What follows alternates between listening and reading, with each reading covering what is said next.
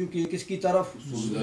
हाँ उस नस्बत की ताकीद के लिए आया है इन्ना। इन जुमले में इन्ना लाने का ये फ़ायदा है।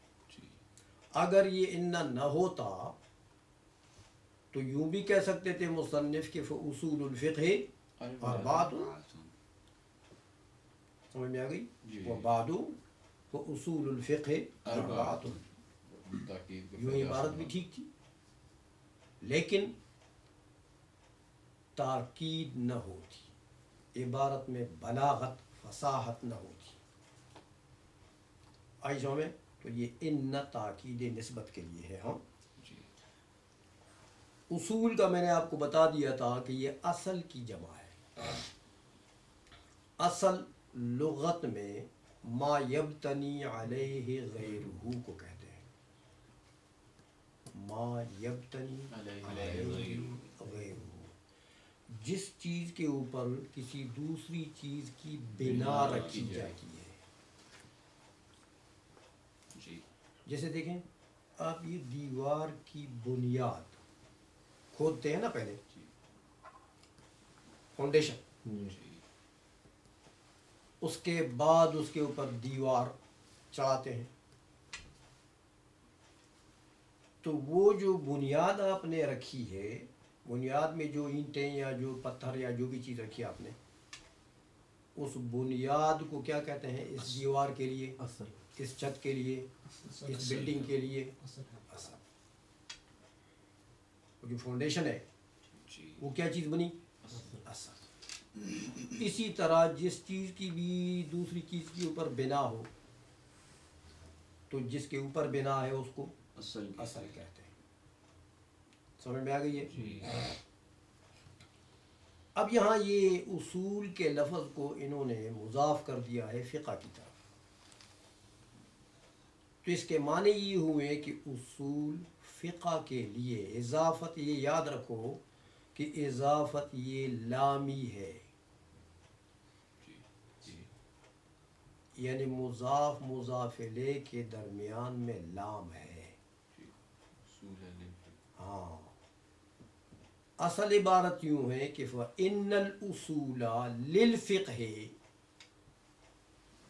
व इन्नल उसूला उसूल को जब मुजाफ करते हैं तो ज़ाहिर बात है कि मुजाफ के ऊपर अलिफ्लाम नहीं आता है। जी। तो वो अलिफ्लाम गिरा दिया।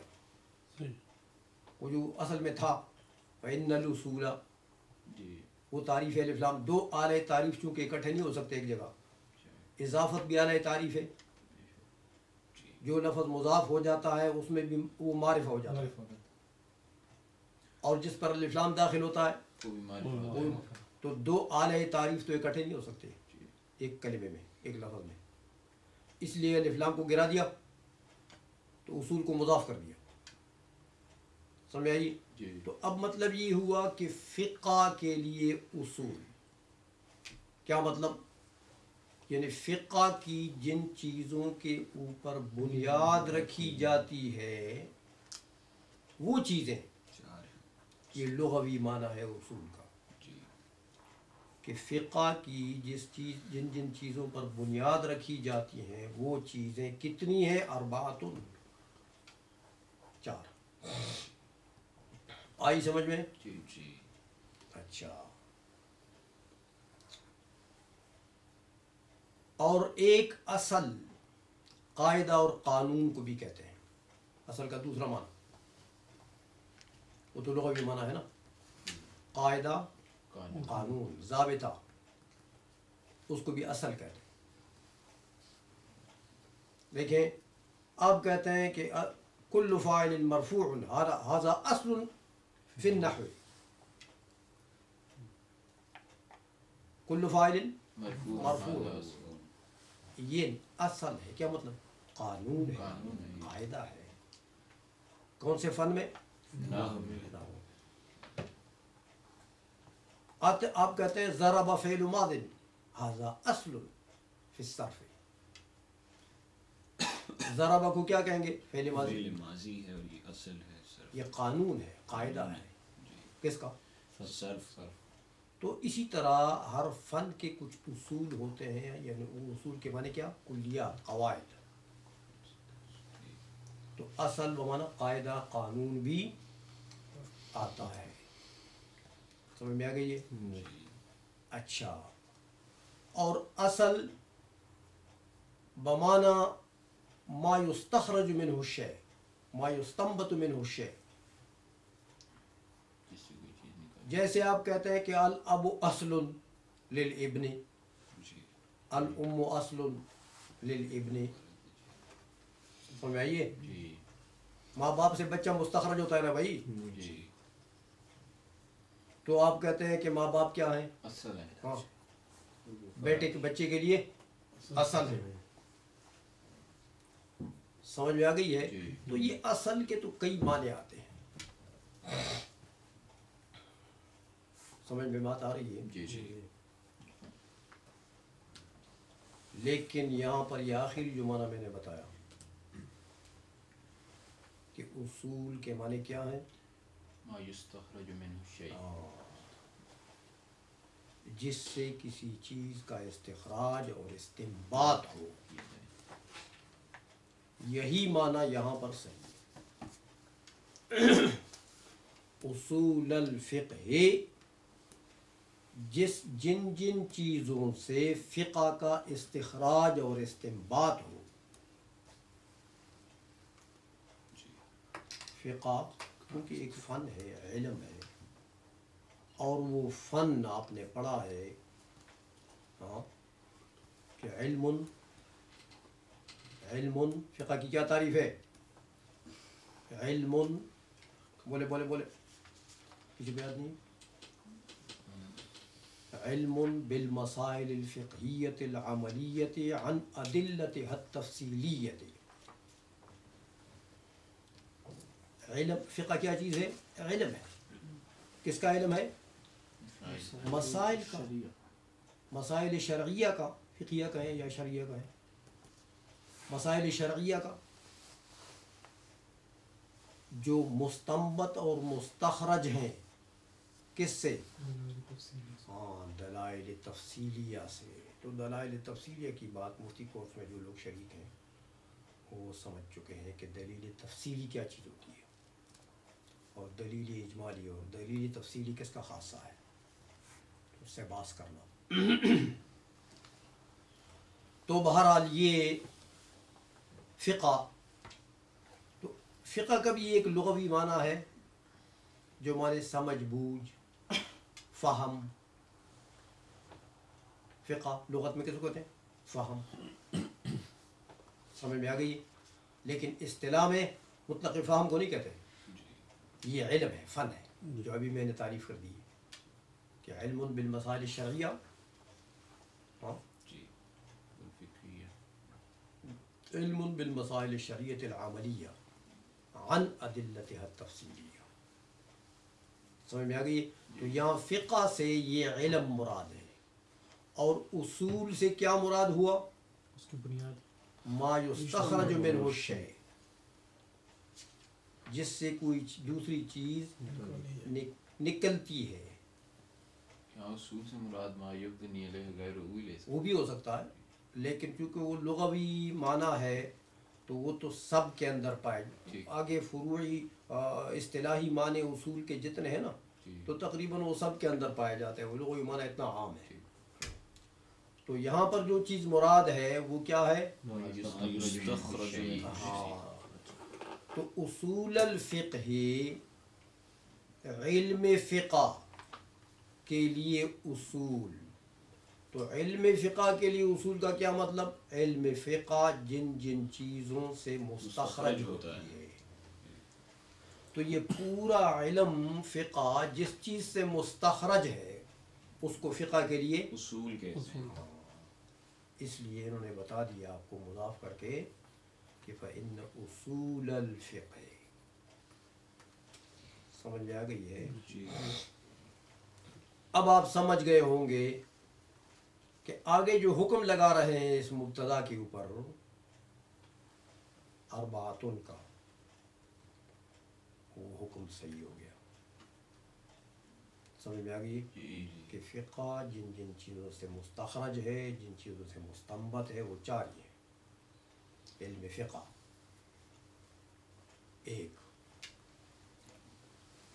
दूसरा माना एक असल का और भी हो सकता है यहाँ पर वो दलील के माने में जो असल आता है। मैंने आपको बताया था कि असल के कई माने आते हैं। जी जी। तो उसूल का माना अगर असल का माना अगर दलील हो जाए तो इसका मतलब ये हो कि अदिल्लतुल्फ़िक़ फ़िन उसूल फ़िक़ फ़िन अदिल्लतुल्फ़िक़ तो उसके जो दलाइल तफसीलिया के भी हाँ वही मुराद होगी। दलाइल जो फ़िक़ा के फ़िक़ा के जो मसाइल हैं मुस्तंबत है मुस्तखरज है अदिल्ला से वो दलाइल मुराद हैं तो दलाइलुल्फ़िक़ा हुआ। मतलब उसूल फ़िक़ का मतलब क्या? हाँ तो दलाइलुल्फ़िक़ा कितने हैं? अरबा तो अरबा। चार हैं। समझ में आ गई ये बात? हो ये उसूल अल्फ़िक़ा के लफ्ज़ को समझ गए हो? चार है लेकिन ये याद रखें कि जब अदिल्ला का लफ्ज़ हम मुराद लेंगे असल से दलील मुराद लेंगे तो फिर यहाँ से दलील तफसीली मुराद है इजमाली नहीं। कि दलील तफसीली मुजतहिद का काम है दलील तफसीली को पहचानना दलील तफसीली से इस्तेदलाल करना मसला निकालना ये ख़ासा है मुजतहिद का। इसलिए इल्म फ़िक़ा के मसाइल के लिए दलाइल चार हैं। तो आपको ज़िमन में पता लग गया होगा कि इन चारों से बहस करना फिर ख़ास सा है किसका? मुजतहिद का। सिर्फ़ मुतहद का। इस्तेमाल का काम मुतहद के अलावा और कोई दलाइल तफसीलिया से और कोई नहीं कर सकता है। तो यानी किताब का मौजू है कि हम मुजतहिद के तरीक़ाकार से हाँ हासिल करें। मौजू तो मौजू तो आएगा आगे। ना कि लेकिन ये इतनी ये इस लफ्ज़ को आप समझ लें। समझ में आ गई है कि ये अदिल्ला से मुराद अदिल्ला तफसीलिया मुराद हुए जिनको जिनसे बास करना इस्तेखराज करना ये सिर्फ़ मुतहद का काम है। समझ में आ गई बात? हो जी। अच्छा तो ये अरबातुन चार है। अब आपको एक और भी बात पता लग गई होगी कि जब चार अदिल तफसीलिया से फ़िक़ा के मसाइल का इस्तेमाल ये ख़ासा है मुजतहिद का। ख़ासा है? मुजतहिद तो अदिल अरबा कौन सी है? किताबुल्लाह है। आगे शुमार कर रहा हुजूर की सुन्नत है। इजमा है कयास है। इन चारों से बहस करना फिर काम किसका हुआ? बात समझ में आ गई? जी। लिहाजा ये हर एरा गैरा नत्थु खैरा का काम नहीं नहीं है। कुरान से मसाइल निकालना हर किसी का काम नहीं है। हुजूर की सुन्नत से मसाइल निकालना और किसी के पास समझ में आ। अच्छा अब ये अरबातुन का जो लफ्ज़ बोला है मुझे ये बताएँ ज़रा कि किताबुल्ला के ऊपर और सुन्नत व रसूली ही और इजमाउल उम्मत वल के ऊपर ये रफ़ा चारों पर क्यों आया है? क्योंकि ये सारे बदल हैं। बदल है किससे? अरबातुन मुबदल में जो है उसको अभी ख़बर न बनाए इन के लिए। मुबदल मिनहु। जी हाँ, तो ये हर एक जो है ये मातूफ है मातूफ है। हाँ। तो आखिर आखिर जो मातूफ हो जाएगा हाँ, तो उसके बाद फिर मातूफ अले बाहमा मातूफात खुद बदल बराए बदल बराए मुबदल मिन हो बा बदल खुद खबर हो जाएगा समझ में आ गई जी इसका ख़ास ख्याल रखें एक तरकीब तो इसकी ये हो गई ये अच्छी तरकीब है यानी अहसन तरकीब है लेकिन एक और तरकीब भी हो सकती है जी। वो भी बताएँ कि अरबातुन को खबर बना के उसको अलग जुमला बना दिया जाए फिर किताबुल्लाह पर हाजा जो है मुब्तदा को महजूफ निकाला जाए और किताबुल्लाह जो है बल्कि अव्वलो अल अव्वल हाँ। अल अव्वलो को मजूफ निकाला जाए और किताबुल्लाह को उसकी खबर और फिर असानी सुन्नत रसूल ही। फिर असालिस इजमा उम्मत। और अर्राबे अल कियास समझ गए हो? मिनहा भी ज़रूरी होगा सिर्फ़ अव्वल हाँ, मिनहा भी हो सकता है तो फिर खबर मुकद्दम होगा मिनहा। और ये किताबुल्लाह वगैरह ये मुब्तदा मुअख्खर बनेगा। जुमला इस तरीके से बनेगा। लेकिन ये अव्वल असानी असालिस अर्राबि ये अवला है बेहतर है कि आगे आपने इसमें आदत ज़िक्र किया है। जी अरबातुन तो जब इसमें आदद है और उसमें इजमाल है हाँ तो अल असानी असालिस अर्राबि से उसकी तफसील हो रही है। इसलिए इसमें आदद की तफसील के लिए आदद लाएँ तो बेहतर है। समझ में आ गई है? जी अच्छा ये तो वजह रफ़ा है हाँ? जी। किताबुल्लाह है पहली बात उन्होंने ये की कि वो अरबात उन है चार हैं। तो चारों में पहला क्या है? किताबुल्लाह। क्योंकि ये दाढ़ी वाले बच्चों के लिए किताब है। हम दाढ़ी वालों को पढ़ाते हैं और ये बेदाढ़ियों के लिए। समझ में आ गया? हमें दाढ़ी वालों को पढ़ाना पड़ गया। इसलिए इसमें ज़्यादा दिक्कत की तरफ़ मुसन्फ़ नहीं गए। मोटी मोटी बातें ज़िक्र की हैं। हाँ जो बेल भी समझ सके। समझिए ना? मोटी मोटी बातें। अब देखें ना, कोई तदकीक में, कोई तारीफ़ात में फिर तारीफ़ात के पर इतराज़ जवाब कि ये तारीफ़ जामे नहीं है ये मानी नहीं है ये वजह है वो वजह है। ऊपर की किताब में होती है वो। समझ आ गई? जी। लेकिन यहाँ नहीं कुछ नहीं है। बहुत ही बात। कि बस उसूल फ़िक़ा चार हैं इतनी बात समझ और वो ये यही चार हैं ये किताबुल्लाह है और सुन्नत हुजूर की सुन्नत है। और और क़यास है। इसलिए यहाँ तारीफ़ात इन्होंने नहीं की। नहीं किसी की तारीफ़ भी नहीं दी न किताबुल्लाह की न सुन्नत की ना इजमा न क़यास। इसलिए मैं भी आपकी मौजखोरी नहीं करूँगा। हाँ वरना बात बात बड़ी लंबी हो जाएगी। तो बहरहाल ये किताबुल्ला आप जानते हैं चूँकि मारूफ चीज़ है। हम्म? तो तारीफ़ की ज़रूरत नहीं उर्दू की सुन्नत को भी आप जानते हैं। इजमा को भी आप जानते हैं इजमाए उम्मत। इतनी बात यहाँ समझ लें कि इजमाए उम्मत से मुराद इजमा मुजतहिदीन उम्मत है। इज्मा उम्मा हाँ, इजमा उम्मत। में जो मुजतहिदीन है उनका इजमा हुज्जत है। हर किसी का इजमा हुज्जत नहीं है। समझ में एक मौलवी साहब कहने लगे मुझे कि आज भी इजमा पाया जा सकता है, वो एक मसले पर बात थी मेरी उनसे मैंने कहा, वो कैसे होगा ना? कहने लगे, देखो ना, ये सारे जो पिशावर के उलमा हैं, ये इत्तेफाक कर लें किसी बात के ऊपर। तो मेरा वो तो मैंने कहा पिशावर में अक्सरियत जो है, वो देवबंदियों का है कि है, और सब का इजमा है कि आप काफिर हैं। आप मुशरिक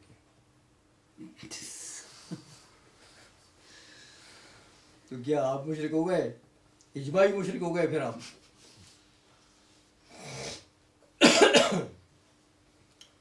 तो मैंने कहा ये नखरे न करो।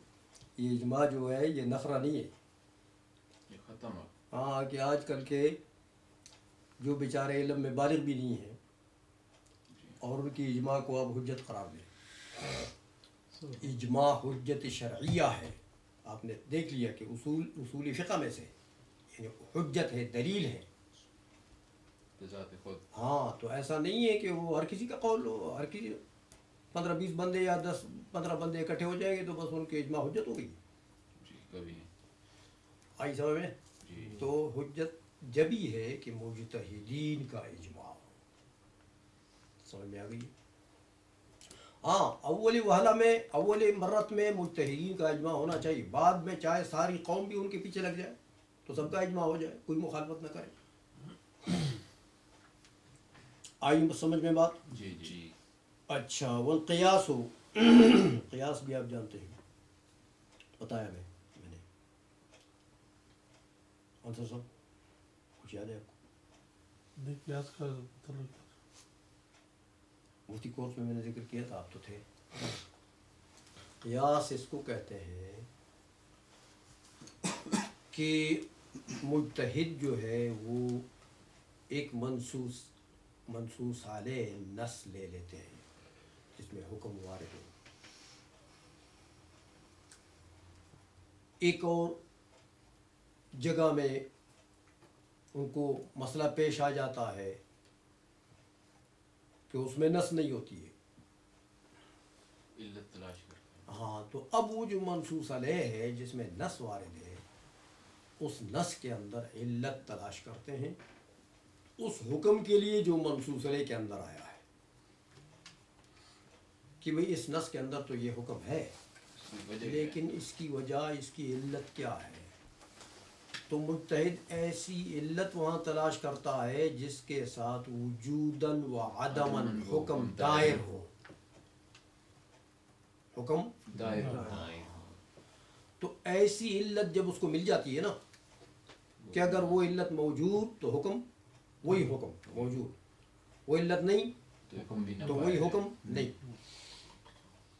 ऐसी इल्लत अगर मिल जाती है तो ऐसी इल्लत अगर गैर मनसूस अले जुजिया में वो इल्लत पाई जाए तो मुजतहिद फिर उस हुक्म मनसूस हुक्म को भी मनसूस अले से मुतदी करके वहाँ ले जाते हैं कि इसका भी यही हुक्म है। इसका भी? यही हुक्म है। तो मनसूस जिसमें नस वारिद है उसको क्या कहते हैं? असल। नसूल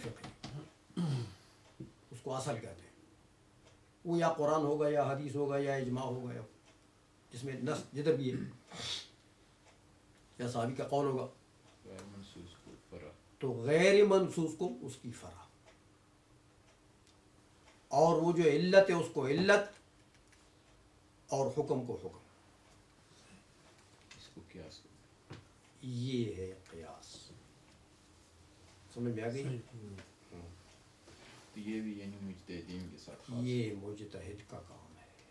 ये हर कोई बिल्कुल कर सकता हाँ, का काम नहीं है अच्छा अब ये कहते हैं भाई जब इतना आपने समझ लिया कि उसूल फ़िक़ा ये चार है किताबुल्लाह है हुजूर की सुन्नत है इजमा है क़यास है। हाँ, तो अब क्योंकि उसूल फ़िक़ा जो फ़न है इस फ़न में इस फ़न के पढ़ने से गर्ज व गायत क्या है?